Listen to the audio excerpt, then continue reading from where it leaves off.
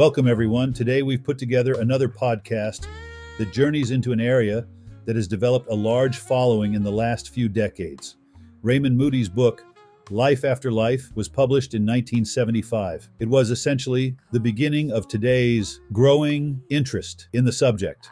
Rather than me tease you about it, let's jump right into the conversation. It's always blue Saturday, wherever I am. Right. So uh, we've got a whole stack of these near-death experiences. We're going to try to unpack them here. And, uh, you know, I, I've always been pretty skeptical about this whole thing.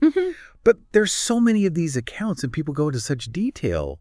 It's hard to just write them off as, you know, hallucinations or something like that. Yeah, well, what really gets me is how there's so many common themes. Yeah. You know, it doesn't seem to matter where people come from or what they believe in. Uh-huh. There's something similar about all these experiences. Like they're pointing to something beyond, you know, what we normally think of as reality.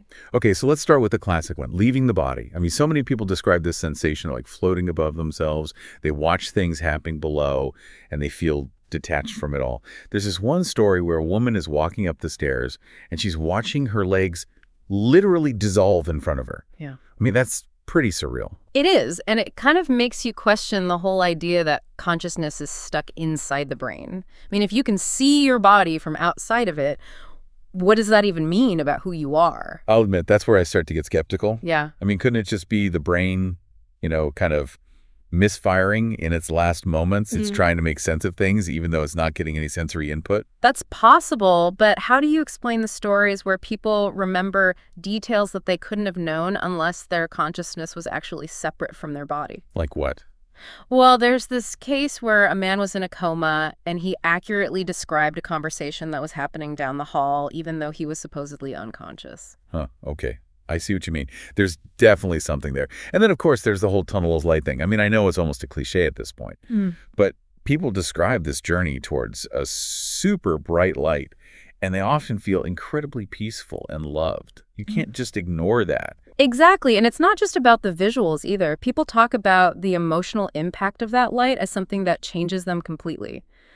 There was this surgeon who was clinically dead for a few minutes, and he said it was like being surrounded by this intense love that was almost too much to handle. So are we talking about some kind of universal energy field here? Some Yeah. cosmic welcome committee. Where is this light even coming from? That's where things get really interesting. If we move beyond those traditional materialist explanations, we have to think about the possibility of other realms or dimensions that we can't normally perceive. Maybe this light is like a doorway, a transition between different states of being. Okay, I'm trying to keep an open mind here, but that's a little too far out for me. Yeah. And what about all those beings of light that people encounter? They radiate love and acceptance and offer comfort and guidance. Are those angels? Yes. Spirit guides? The names we give them aren't as important as the qualities they represent wisdom, compassion, and unconditional love. It's as if they're a higher form of consciousness, something we can connect with when we shed those earthly limitations. Well, wouldn't it be simpler to say that these figures are just projections of our own subconscious? Yeah. You know, we're facing death, so our minds create comforting images to make us feel better. I guess that's possible, but how do you explain the lasting impact these encounters have on people? There's this story about a woman who always struggled with self worth. And she describes being embraced by a being of light who tells her, You are my child, welcome home, you are loved beyond all measure. This experience totally changed how she saw herself.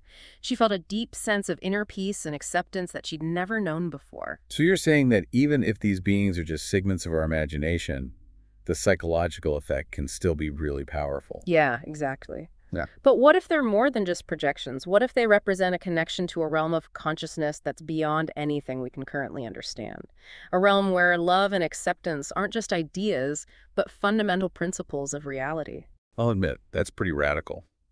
But if we're going to really explore these NDEs, we have to be willing to challenge what we think we know right. Exactly. And that leads us to another really interesting thing that people describe.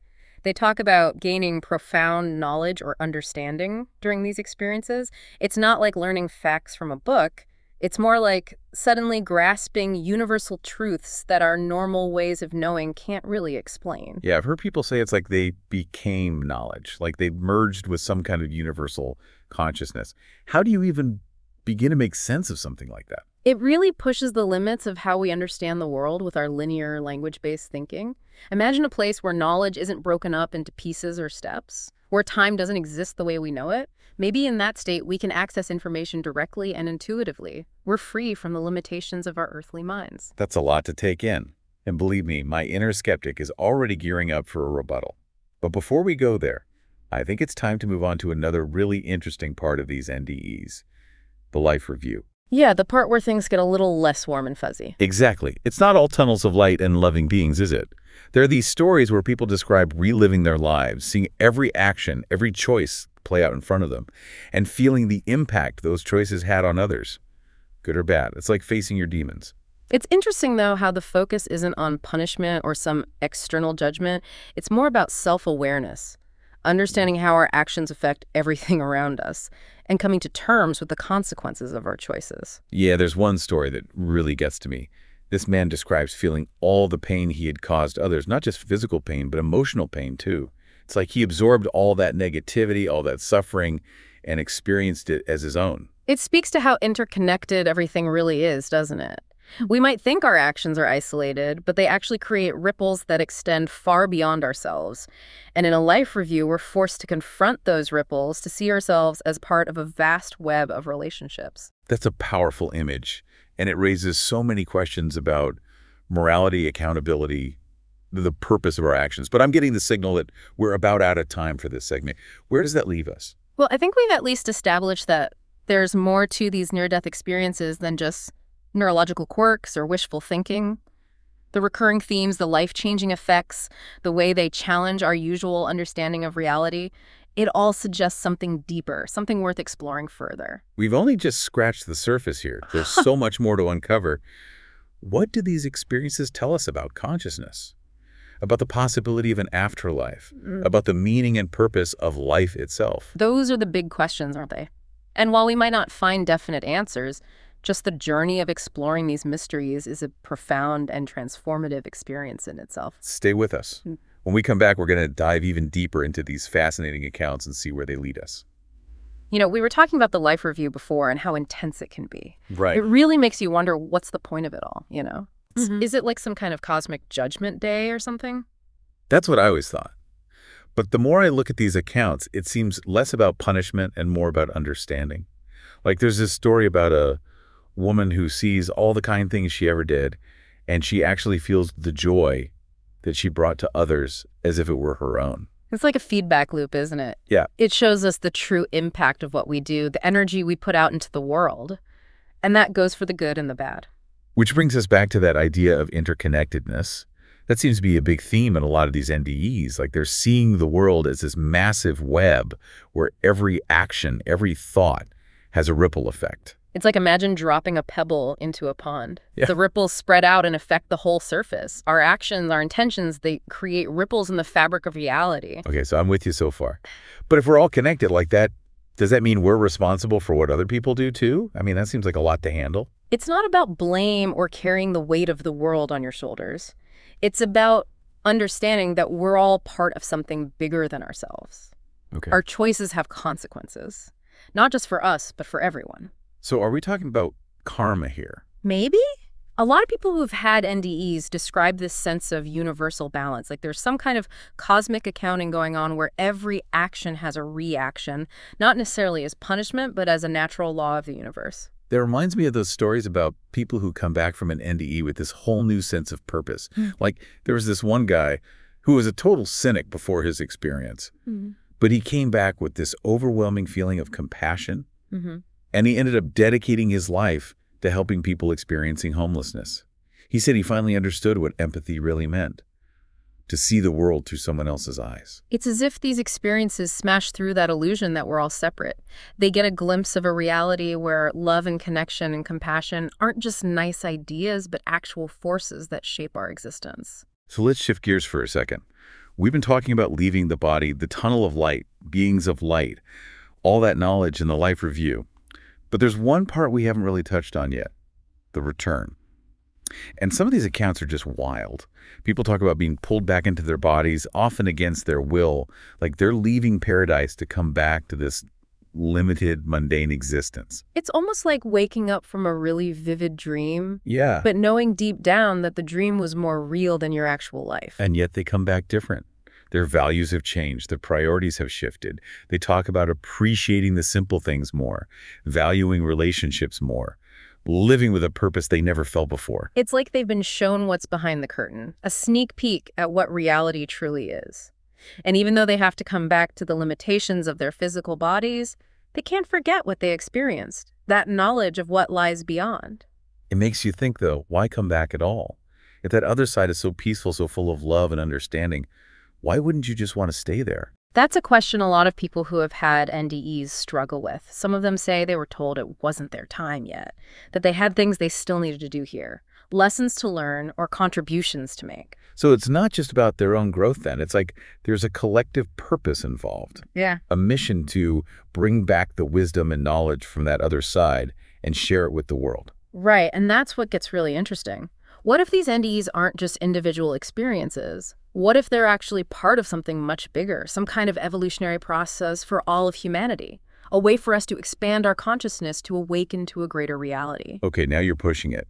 Are you saying these near-death experiences are like orchestrated, designed to nudge us all towards some kind of collective awakening? It's a fascinating idea, isn't it? And as far-fetched as it might seem, you can't deny the impact these experiences have on people and how that ripples out and affects the world around them. I've got to admit, there's a part of me that wants to believe that.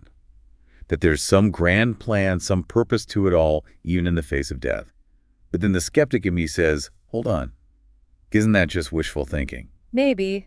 But even if we can't prove or disprove that there's a grand plan, just thinking about these possibilities can be really powerful, can lead to personal growth and transformation. So where does that leave us then?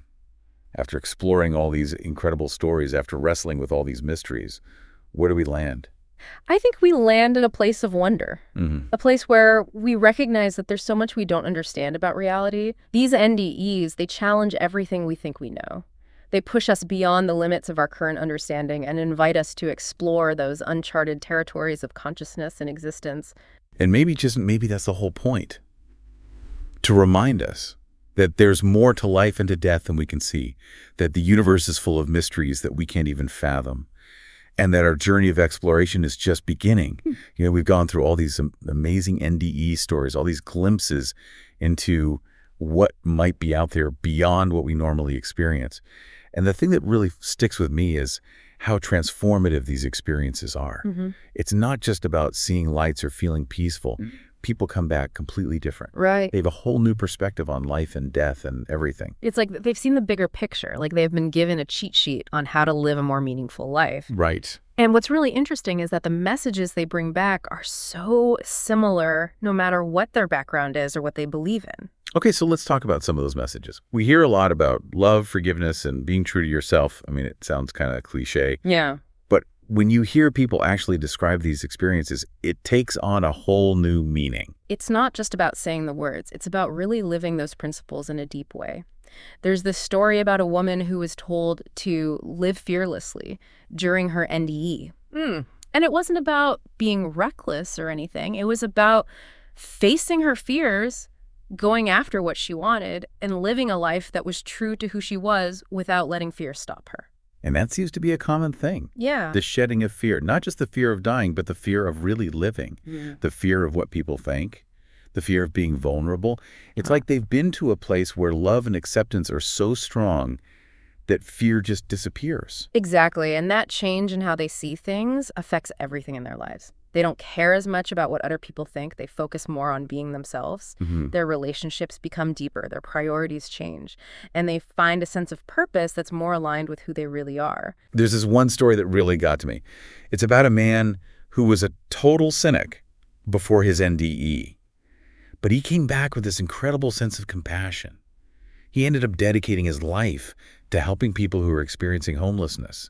He said he finally understood what it meant to really empathize with someone, to see the world through their eyes. It's like these experiences break down the walls we build between ourselves and other people. Right. They show us how interconnected we all are. They start to see that everything we do, think, and are is woven together in this tapestry of shared existence. And that brings us back to that message of love. Mm-hmm. And I'm not talking about the romantic kind of love, but something much bigger. Right. And something that includes everyone, everything. It's like they've tapped into the source of unconditional love that's everywhere, a love that goes beyond our human limits and judgments. It's a love that doesn't require us to be perfect or to earn it or deserve it. It just is. And when you get a glimpse of that kind of love, it opens up your heart and you see yourself and the world in a whole new way with more clarity and compassion. But here's the question that I keep coming back to.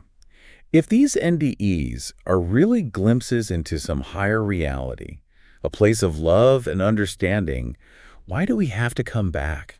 Why not just stay there forever? That's the real mystery, isn't it? Some people who have had NDEs say they were told it wasn't their time yet, that they still had things to do here, lessons to learn, contributions to make. So it's not all about their own personal journey then. Right. It's like there's this bigger purpose. Like they have a mission to bring back the wisdom and knowledge from that other side and share it with everyone else. Exactly. And maybe that's why we're so drawn to these stories, why they resonate with us on such a deep level. They offer a glimpse of what might be possible, a reminder that there's more to life than what we see in our everyday lives. I mean, they challenge us to question everything we think we know about reality, to explore what's out there beyond what we can normally perceive, and to embrace the mystery at the heart of it all. Right. And maybe just maybe by listening to these stories, by really thinking about these profound experiences, we can start to change our own perspectives, our own priorities, and create a world that reflects those higher truths. A world where love, compassion, and understanding aren't just ideas, but the principles that guide our lives. We may not have all the answers, but we've got the questions. And maybe those questions that yearning for something more, those mm-hmm. glimpses beyond what we normally see, maybe those are the real gifts that these NDE accounts give us. They invite us to go on our own journeys of discovery, to find our own truths, and to live our lives with a sense of wonder, a sense of purpose, and a deep appreciation for this amazing gift of being alive. It's a journey worth taking. And it's a mystery that will keep unfolding long after we're gone. Wherever I am. Remember, like us if you like us, and subscribe and ring the bell to get notified when something new is posted. Thanks. Be well and prosper. Wherever I